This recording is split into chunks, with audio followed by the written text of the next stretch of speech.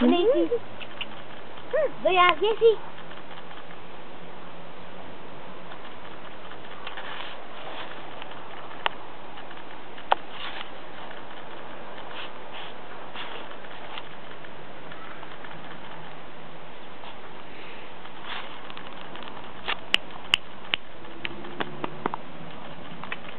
Viens, vous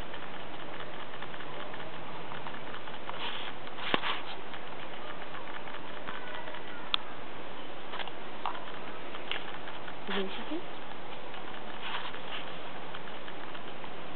Hep fazla bu.